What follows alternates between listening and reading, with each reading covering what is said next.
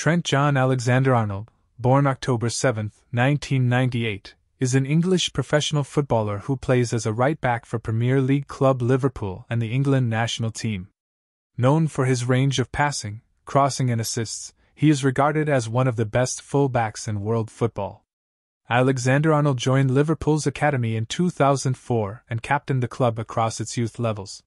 He made his senior debut in 2016, at age 18, and played in back to back UEFA Champions League finals in 2018 and 2019, winning the latter, and being named in the Champions League squad of the season.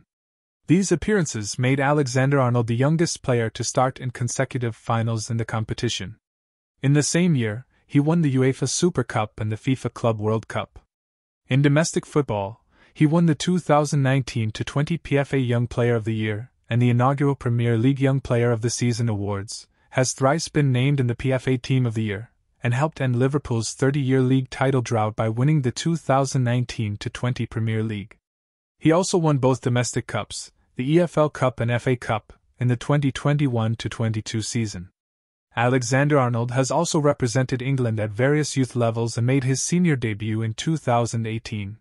He has since featured at the 2018 FIFA World Cup, where he became only the fourth teenager to start a match for England in the tournament, in the 2018 19 UEFA Nations League, where his nation finished in third place in the inaugural edition of the competition, and the 2022 World Cup.